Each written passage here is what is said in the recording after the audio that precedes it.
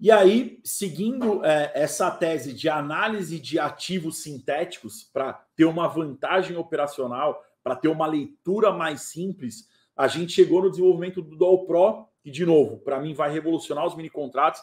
Eu acredito que daqui para frente, é, por exemplo, 2023, ninguém mais vai falar dos outros contratos a não ser contratos sintéticos para day trade, né? E o Doll Pro nada mais é então que a junção do dólar futuro com o mini dólar Agora você pode realizar análises utilizando o ativo do All Pro, que agrega, isso é importante, que agrega dados de mercado dos contratos do dólar e mini dólar em um mesmo ticker. Ticker é igual a ativo, né? O ticker é o do Pro, é como você busca o ativo. Utilize o ativo em todas as ferramentas de acompanhamento operacional do Profit, né? Principalmente aí do Profit Pro, que é a plataforma que eu mais recomendo para vocês.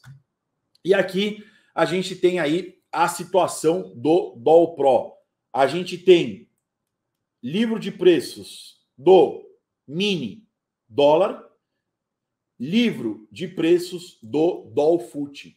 Antigamente, tínhamos que acessar, tínhamos que ler esses dois livros de ofertas. Agora, a gente tem um livro de ofertas agregado. Olha que interessante. Um livro de ofertas agregado. Agora você só olha esse. E aí eu preciso um pouco da matemática de vocês para entendimento disso.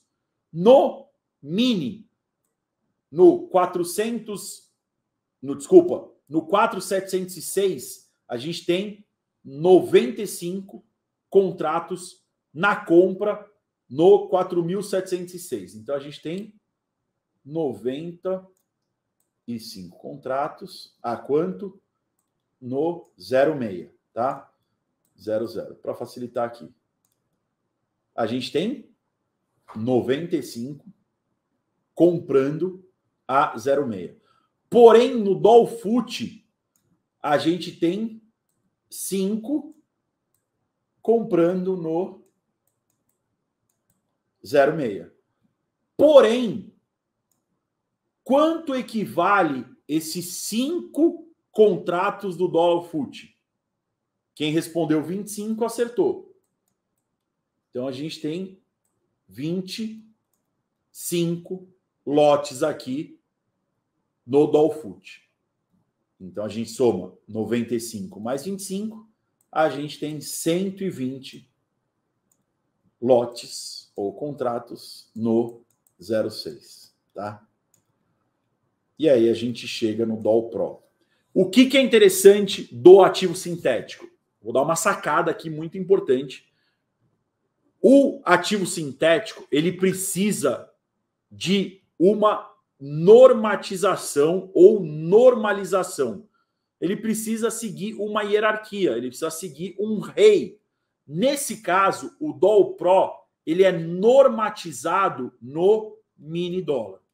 Então, todos os contratos, todos os lotes do Dol Fut são transformados em contratos do mini dólar no Doll Pro.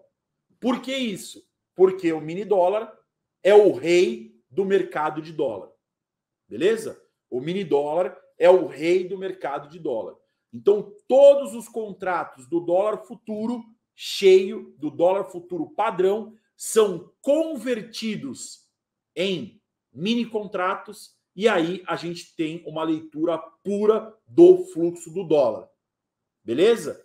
Então a gente tem 95 lotes comprando a 0,6 no mini e a gente tem 5 lotes comprando a 0,6 no Dolfut. Somando o mini dólar com o dólar futuro, a gente chega na conta de 125. Porque todos os contratos do dólar futuro são transformados em mini dólar. Se você entendeu isso, a tua leitura vai ser muito simples, porque toda a leitura de dólar agora acontece no Dol Pro. Ah, Antunes, os lotes que entraram no mini continuam aí. Os lotes que entraram no cheio são convertidos e incluídos no livro de preços do Dol Pro. Uma pergunta que já me fizeram, Antunes, mas essa conversão não atrasa minha leitura, não. Porque o nosso olho não lê nenhuma mudança de tela abaixo de 300 milissegundos.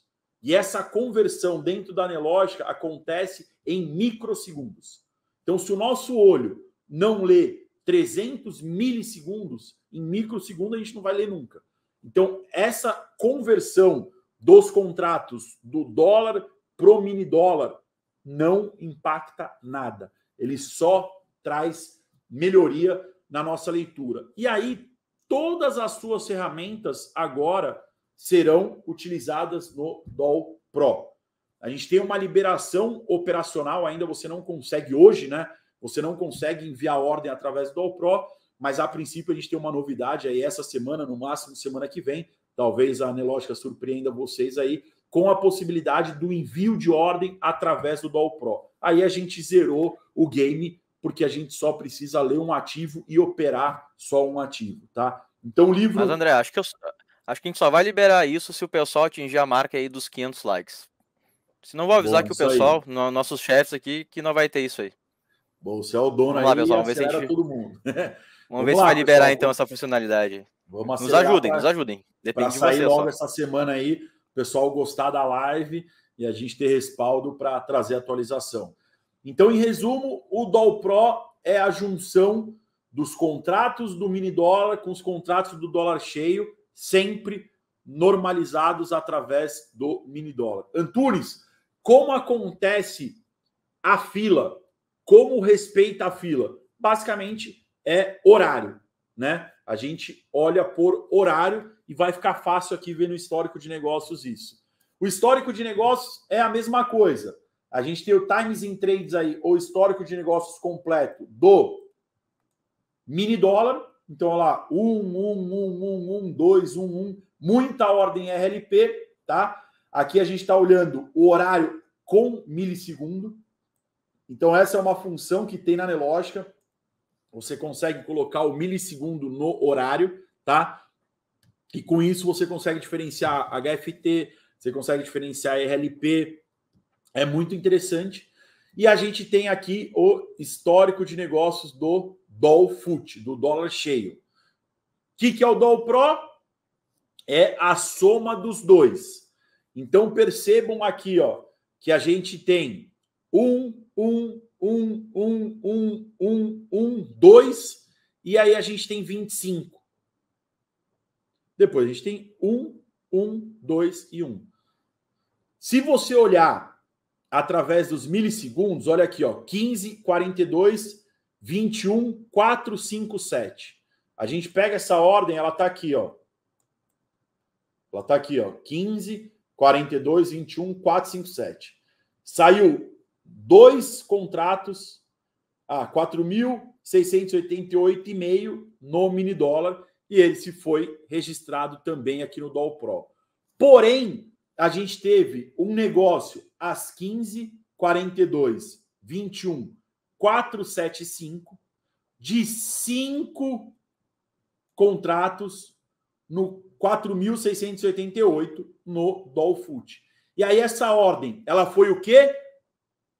Normatizada. Ela foi transformada em mini dólar e virou 25 contratos a 4,688,5 vendedor, vendedor, respeitando a agressão, respeitando o horário, respeitando o preço, respeitando o lote, porém só convertendo. E depois o próximo contrato negociado foi no 748, 748, 851, 851, 914 milissegundos, 914 milissegundos, 988 milissegundos, 988 milissegundos.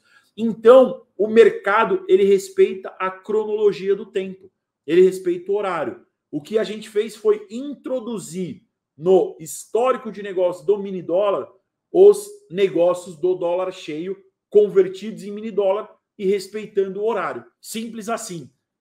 A leitura é simples, pessoal. O conceito é simples. Pode parecer que é muita coisa, mas é simples. É uma facilidade, é uma vantagem de leitura você perceber que entrou uma venda aqui. Então, nesse período curto, se você só tivesse olhando se você só tivesse olhando o mini, você ia falar, pô, o mercado está equilibrado.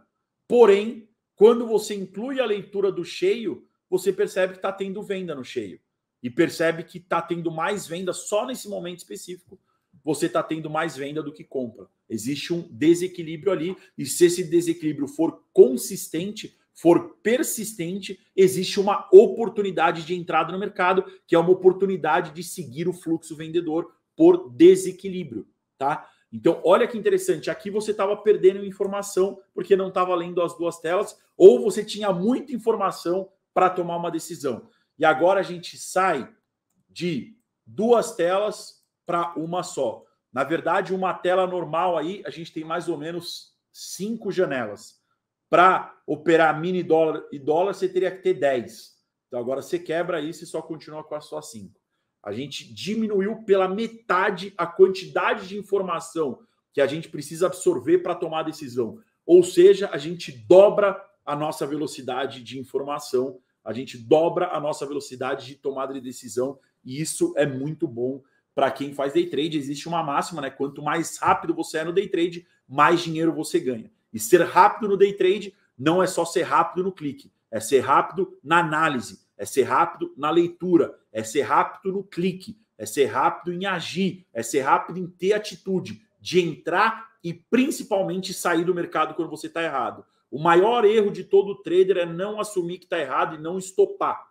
Quando você não assume que você está errado, você segue para o caminho aí do ciclo vicioso, você segue para o caminho da espiral negativa, vai fazer é, preço médio, não vai estopar, vai ser estopado pela corretora e depois vai no YouTube contar a historinha que perdeu dinheiro no day trade. E se a gente sentar e bater um papo cinco minutos, eu vou dizer que a responsabilidade, a culpa é totalmente sua, porque ou você não tinha conhecimento, ou você não estava preparado para operar, ou você operou aí de forma gananciosa, achando que ia ganhar mais do que você podia. É basicamente como um médico saber olhar e falar, cara, você está tendo esse problema, você não está fazendo exercício físico, você está comendo errado, precisa fazer isso, isso, isso que vai corrigir, tá? Então, o Dol Pro vem para isso. Finalizando aqui, para a gente ir para a plataforma, como que eu coloco o Dol Pro nas minhas ferramentas? É só clicar em qualquer ferramenta, o ticker Dol Pro vai aparecer aqui e você